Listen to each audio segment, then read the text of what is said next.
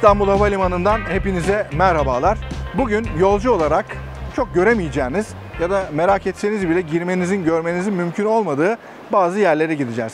Nedir bu? Valizinizin yolculuğu. Şimdi siz valizinizi arkamda görmüş olduğunuz kontuarlardan ya da otomatik makinelerden bırakıyorsunuz ama bu valiz nereye gidiyor?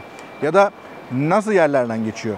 Çünkü burada ucuca eklediğinizde 42 kilometreyi bulan bir bagaj taşıma sistemi var. Bildiğiniz gibi pandeminin bitmesiyle beraber seyahat etmeye başladık. Hem tatil için hem iş için gerçekten çok seyahat etmeye başladık. Ve personel sayısının eksikliği ve bununla beraber gelişen diğer bazı sorunlar dünyada krizlere neden oldu. Hava yolları şu anda krizde. Valizlerin dağ gibi yığılmasını önleyemediler ve internete, sosyal medyaya düştü bu görüntüler. Ben de hal böyle olunca Türkiye'de İstanbul Havalimanı'nda bu iş nasıl oluyor diye merak ettim ve sizlere bugün onu göstereceğim arkadaşlar. Bu arada da sizden ricam videoya yorum yapmanız, beğenmeniz ve de eğer abone değilseniz kanala abone olmanız. Gelin başlayalım.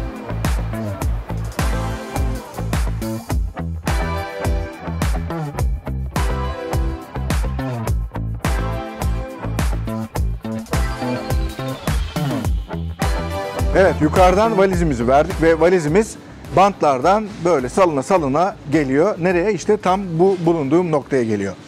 Buraya geldiği zaman barkod okuyucu sistem tarafından valizimizin üzerindeki etiketler okunuyor ve buna göre hangi uçak, hangi saatte, hangi banttan gitmesi gerekiyor sistem bunları öğreniyor ve valizimizi ona göre yönlendiriyor. Ortalama bir günde 130 bin bagaj geçiyor arkadaşlar. E, artı 50 bin bagaj da geliyor.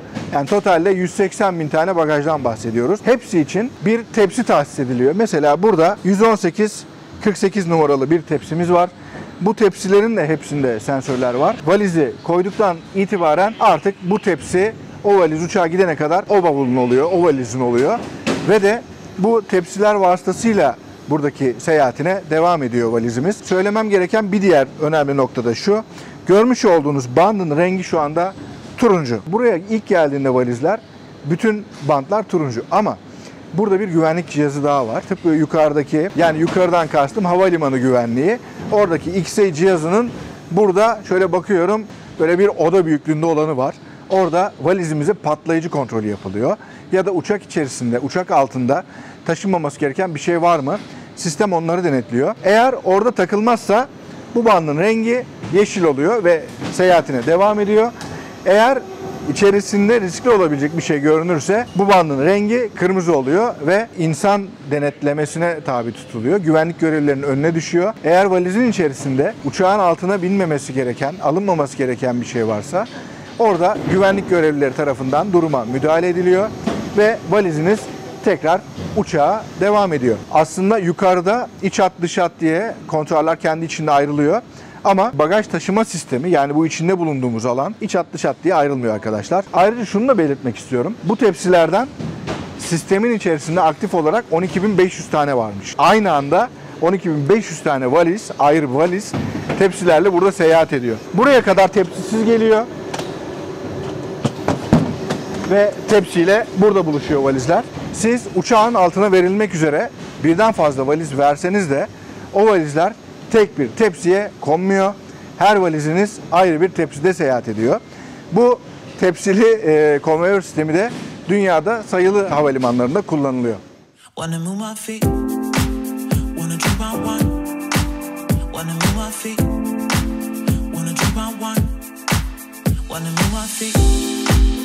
wanna drink my wine. Wanna move my feet,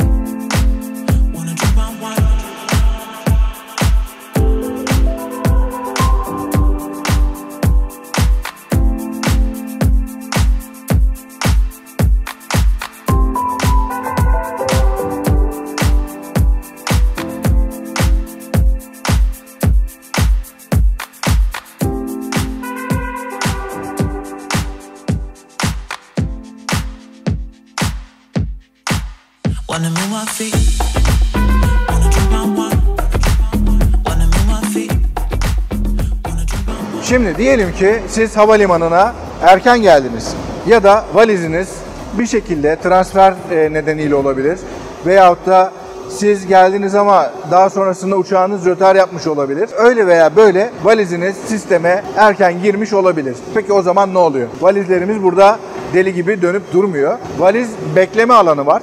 Onlar öyle diyorlar. Bence bagaj oteli burası.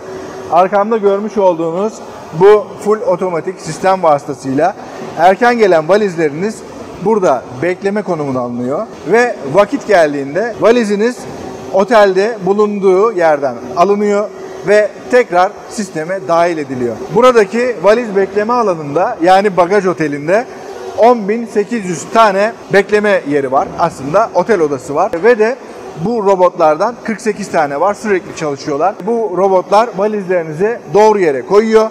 Sistem onu kaydediyor ve de sizin valiziniz burada siz yukarıda lunchta veya başka bir yerde vakit harcarken valiziniz burada bekliyor. Bu az önce size söylediğim 12.500 tane sistemde bulunan tepsi var demiştim. Onlardan da sürekli hatta e, dolaşması gerekmeyenler var. e, boş olanlar var. Onlar da yine otelde konaklama yapıyorlar. Görevleri geldiğinde buradan alınarak sisteme dahil ediliyorlar.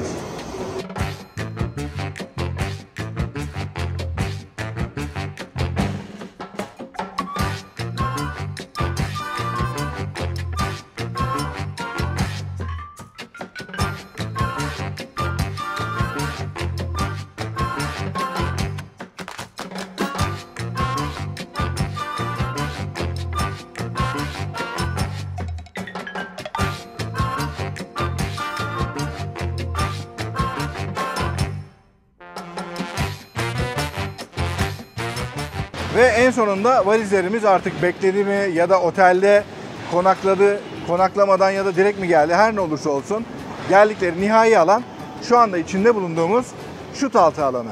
Şimdi buradaki bantlardan e, Dory diye tabir edilen şu benim tabirimle tırtıl bu arabalara yüklenip e, bunların kasalarında kapalı kutular var. Keza onlarda bunlar bu kutulara yüklenip daha sonrasında uçağa doğru gidiyor. Bir tanesi yanımızdan geçiyor şu anda. Bakın mesela 3 vagonluk bir Dolly. Peki bu devasa tesis nasıl kontrol ediliyor? 7 gün 24 saat gözlem altında burası. Şimdi size buranın kontrol odasını göstereceğim.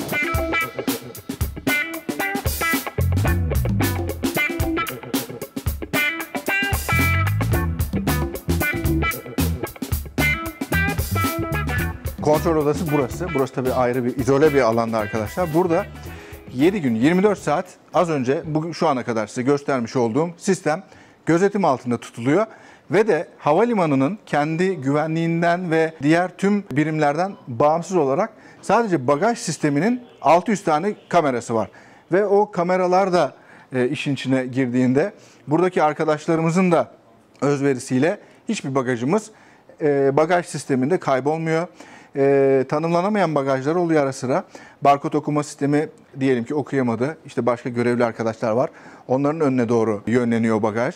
Ama günün sonunda bagajınız uçağa bir şekilde gidiyor. Ayrıca şunu da belirtmek istiyorum. Buradaki az önce gezdiğimiz valiz bantları, bagaj taşıma bantları ucuca eklendiğinde 42 kilometrelik bir mesafe yapıyor.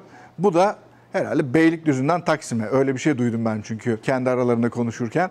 Beylikdüzü'nden Taksim'e kadar ucucu eklediğimiz bir bagaj bandı düşünün. Ne kadar uzun değil mi? Ama buradaki bu kontrol mekanizması sayesinde eksiksiz bir şekilde işler tıkır tıkır ilerliyor. Ve de bu iş için sadece bagaj taşıma sistemlerinin çalışır durumda kalabilmesi için teknik anlamda bunu kontrol eden 200'den fazla çalışma arkadaşı var. Yer hizmetleriyle beraber düşünürsek yani sizin valizinizi kontuarda sizden teslim alıp bu banda koyan insanları da işin içine katarsak aslında sizin valiziniz sizden alınıp uçağa gitsin diye binlerce insan çalışıyor desek herhalde yanlış olmaz. Valizinizin hikayesi yani o çok merak edilen biz biz bu valizleri buradan koyuyoruz ama nereye gidiyor sorusuna en azından bu videoda cevap vermeye çalıştık arkadaşlar. İstanbul Havalimanı'na da bizlere bu şansı verdikleri için çok teşekkür ediyorum. Ben bu videoyu buradan kapatıyorum. İzlediğiniz için hepinize çok teşekkür ediyorum. Ve buradaki arkadaşlara da bugün benim kahrımı çektikleri için çok teşekkür etmek istiyorum. Sağ olun, var olun. Çünkü biz aşağılarda gezerken ekranlardan bizleri görüyorlar, arıyorlar. Orada ne yapıyorsunuz, burada ne yapıyorsunuz?